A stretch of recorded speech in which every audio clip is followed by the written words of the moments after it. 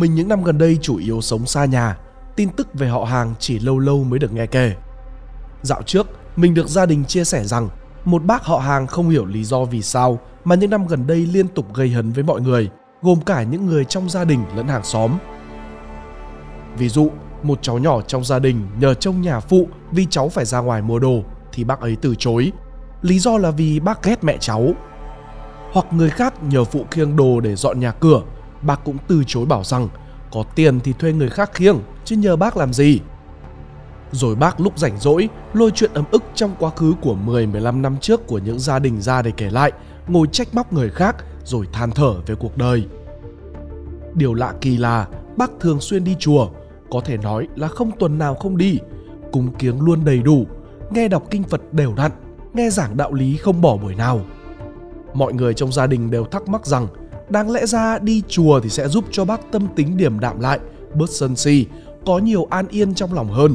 Đằng này thì dường như là nó đang phản tác dụng. Nghe về chuyện này mình khá buồn do hồi nhỏ mình chơi thân với nhà bác, quý gia đình bác, nhiều lần đi qua ăn uống, đi chơi chung. Giờ không ngờ bác lại thay đổi theo chiều hướng tiêu cực như vậy. Nhìn rộng ra những người như bác không hề hiếm. Người ta có thể dễ dàng bắt gặp các bản tin về những người đi tu làm chuyện thất đức. Có người còn có số tài sản bất chính khổng lồ hoặc làm những điều trái với đạo lý. Mình lên YouTube xem video về những người khoe bỏ mấy chục tỷ ra xây chùa, nhà thờ. Có người kể về việc tu tập của họ, đồng thời giới thiệu về gian thờ hàng tỷ đồng. Rồi thì có đại gia nói về triết lý tu tập, về việc thường xuyên thiền và vui vẻ chia sẻ về đam mê chơi xe với dàn xe cả trăm tỷ. Mình đặc biệt ấn tượng với chuyện ông Lê Phước Vũ, chủ tịch tập đoàn thép Hoa Sen, xây chùa Đại Tùng Lâm Hoa Sen ở Bảo Lộc. Ngoài việc phá rừng phá núi để xây dựng công trình trái phép, họ còn thuê xe gắn loa công suất lớn để phá cuộc sống của hơn 57 ni sư sống gần đó trong khu vực bên cạnh. Xe này phát nhạc từ sáng đến tối với những bài tình ái sướt mướt, công suất thì mạnh gấp chục lần loa karaoke, khiến cho 57 ni sư sống như là bị tra tấn suốt cả tháng trời. Điều thú vị là dường như những người này không nhận thấy được sự đối nghịch giữa những lời giảng dạy trong kinh Phật và những gì mà họ đang làm. Nếu như việc tu hành khổ hạnh là để đạt được mục đích tháo gỡ tâm trí khỏi những xiềng xích dục vọng, vượt qua bản ngã, thì những hành động như là phá núi xây chùa, xây dựng không gian thờ khổng lồ, xây dựng tượng Phật khổng lồ, tổ chức buổi lễ hoành tráng để chào đón siêu xe trăm tỷ lại tạo ra kết quả hoàn toàn trái ngược. Điều này giống như là những người hay có câu cửa miệng, cũng không muốn đánh giá sân si đâu nhưng mà. Và sau đó là một trang dài các định kiến, phán xét phiến diện. Khi coi video của anh đại gia nói về tu tập, chánh niệm rồi siêu xe trăm tỷ, mình tự hỏi nếu anh mua chiếc xe đó mà bị ràng buộc điều kiện là mua trong âm thầm, không được công khai danh tính cho truyền thông, thì liệu anh có mua hay không? Anh bảo chiếc xe như tác phẩm nghệ thuật đặc sắc dành cho vợ và mẹ. Vậy chỉ cần vợ và mẹ anh biết thôi thì có đủ hay không? Hay anh sẽ không chịu được nếu như người đời không biết anh vừa bỏ trăm tỷ ra mua xe? Vậy thì tại sao lại có hiện tượng như vậy? Tất nhiên, có nhiều nguyên nhân khác nhau dẫn tới sự mâu thuẫn giữa những gì họ học và những gì mà họ làm. Mình chỉ ghi ra ở đây một số lời giải thích mà mình thấy hợp lý nhất. Nói ngắn gọn thì khi tu tập, bạn sẽ thường chỉ có một trong hai kết quả. Hoặc là con người bạn sẽ thay đổi hoặc là con người bạn vẫn như vậy nhưng bạn tin là bạn có một lối thoát để dễ hiểu hãy xem một ví dụ sau về một nhân vật giả tưởng ông v là chủ doanh nghiệp lớn cực kỳ lớn sau bao nhiêu năm xây dựng và phát triển thì doanh nghiệp của ông có khối tài sản lên đến hàng chục nghìn tỷ, tham gia kinh doanh trong nhiều ngành nghề khác nhau. Sản xuất xe hơi, kinh doanh bất động sản, có hệ thống trưởng quốc tế, có bệnh viện. Nhưng ông V cũng biết rằng để ông sống sót qua thời kỳ hỗn loạn và nhiễu nhương, để tiêu diệt được các đối thủ và vươn lên, ông đã phải dùng nhiều thủ đoạn xấu và đê hèn khác nhau như là hối lộ, làm ăn gian dối, trốn thuế, bóc lột công nhân, thao túng truyền thông báo chí để giấu các bê bối kinh doanh của mình, thao túng cả cổ phiếu. Nói chung là trong thất đại tội của con người được liệt kê trong kinh thánh của Thiên Chúa Giáo, ông không thiếu cái nào cả. Tất nhiên là dù có che giấu cỡ nào thì trong thâm tâm ông, ông cũng biết là những điều mình làm là sai trái, ông cũng lo. Ông hồi nhỏ hay đi chùa theo ba mẹ thì được biết ai làm điều ác thì sẽ bị đẩy xuống địa ngục, nên là ông cũng sợ. Thế rồi sau khi nghe các sư thầy giảng hàng tiếng đồng hồ về việc tích phước qua việc cúng dường cho chùa thì ông cùng gia đình thường hăng hái đi chùa cúng dường. Cúng dường thôi vẫn chưa đủ, ông bắt đầu tìm hiểu về đạo Phật, rồi cố gắng thiền, rồi cũng có pháp danh. Nhưng tất cả những điều đó ông làm không phải là để ông được khai sáng và đến với chân lý. Ông làm những điều đó vì ông coi đây là cách mình tích phước để bù đắp cho các sai lầm mình đã làm. Nó gần như là tương đương với giao dịch vậy. Tôi làm hai điều sai trái thì tôi bù lại bằng cách cúng dường 2 tỷ. Tức là cách mà ông tiếp cận với đạo Phật không đến từ việc ông muốn tìm kiếm sự thật, được khai sáng, được thấy chân lý mà Đức Phật đã thấy và từ đó sống tốt hơn. Mà ông tiếp cận với đạo Phật coi nó như một công cụ để chữa lành, cụ thể là để tẩy xóa những điều sai trái đang cắn rứt lương tâm mình. Ông không nghĩ rằng mình cần thay đổi, ông nghĩ rằng mình cần tích phước nhiều hơn. Vì nhìn tôn giáo như một công cụ như vậy nên ông chọn cách xây chùa, một ngôi chùa thật to vì ông nghĩ rằng chùa càng to thì Đức Phật sẽ nhìn thấy càng hài lòng mà giảm nghiệp cho ông, mà cũng đồng thời thỏa mãn cái tôi của ông. Ông đi tu nhưng cái tôi của ông vẫn còn nguyên vẹn.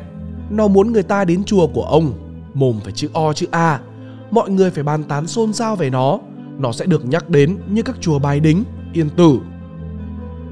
Rồi thì ông cũng định sẽ thu phí hoặc là tìm cách bán hàng ở trong chùa đó, hoặc là mang về những món đồ lạ không rõ nguồn gốc xuất xứ và bảo rằng đó là bảo vật trong Phật giáo để thiên hạ un un đến chiêm bái. Nói chung, ông sẽ đi đầu trong ngành du lịch tâm linh.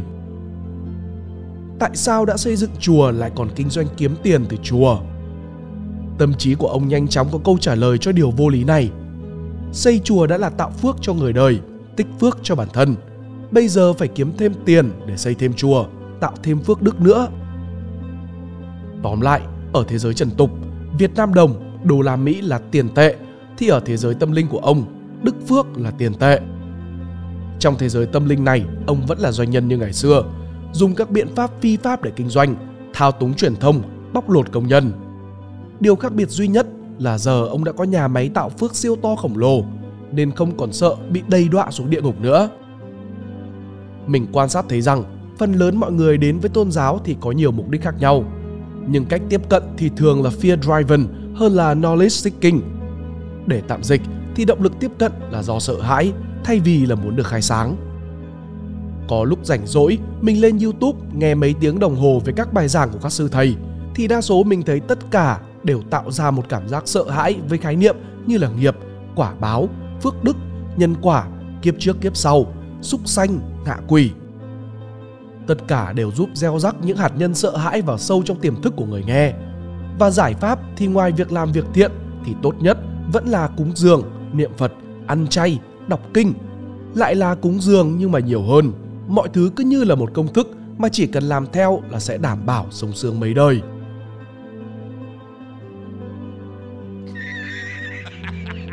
Hậu quả của cách truyền bá tôn giáo này là mọi người coi đạo Phật như một công cụ mầu nhiệm để trao đổi và đồng thời là giải pháp rẻ tiền cho những vấn đề thường ngày.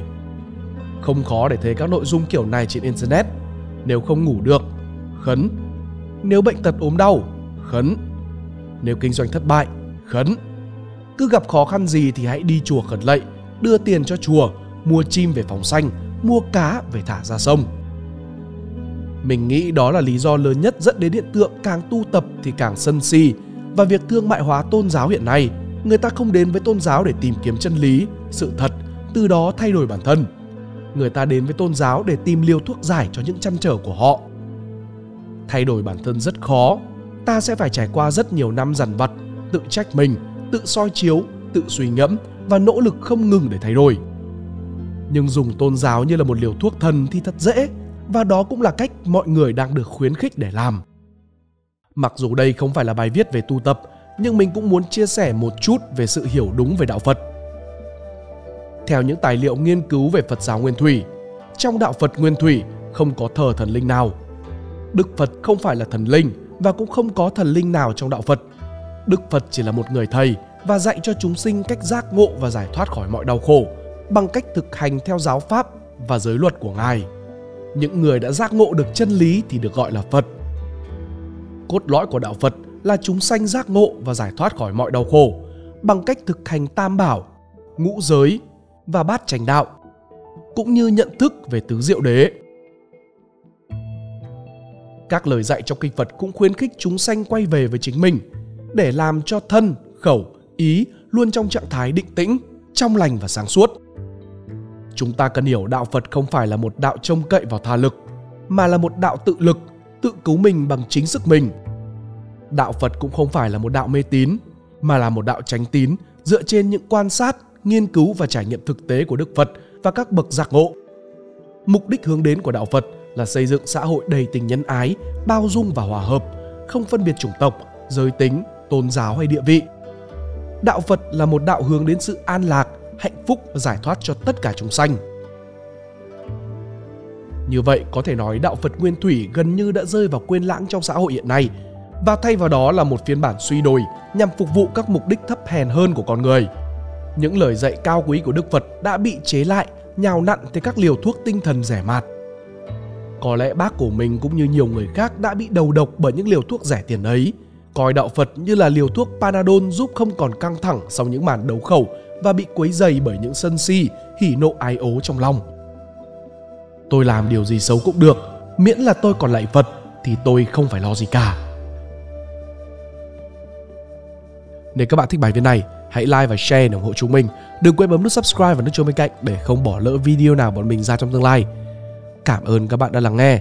Đây là Spider Room, còn mình là Pink Dot. See ya!